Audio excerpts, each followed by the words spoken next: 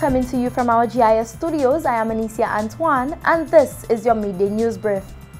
Minister for Education, Dr. Gail Rigobert, along with the Permanent Secretary in the Ministry, Michelle Charles, and Deputy Permanent Secretary, Kendall Kodra, on Friday, March 22, 2019, met with the President of the St. Lucia Teachers Union, Julian Monrose.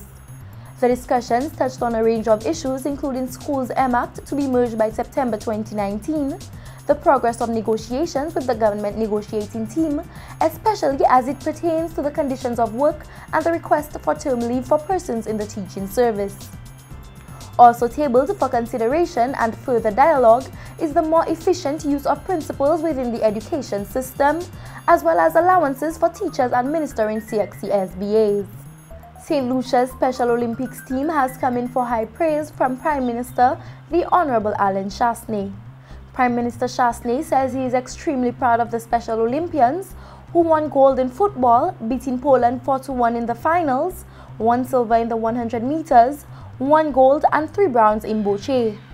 They competed in the World Games Special Olympics in Abu Dhabi from the 14th to the 21st of March 2019. Construction begins on the first of its kind solar carport facility in St. Lucia. This facility is being built at the Department of Infrastructure Ports and Energy parking lot in Union Castries. It is important in helping to secure a sustainable energy future for all. Not only will the completed facility accommodate charging of electric vehicles, but it will also offset energy consumption of the ministry's headquarters significantly reducing the amount of money expended by the state in electricity costs.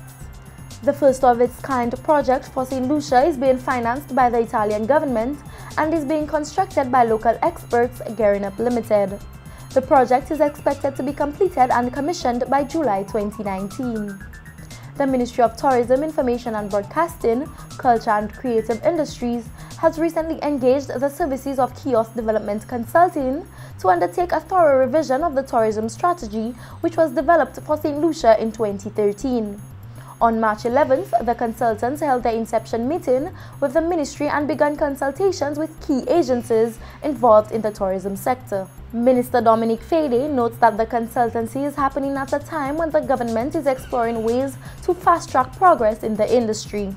Following the first round of consultations, the consultants will draft the revised tourism strategy and action plan to reflect a clear, coordinated, practical and sustainable plan for the tourism sector. This has been your Midday News Brief. I am Anicia Antoine. Thank you for watching.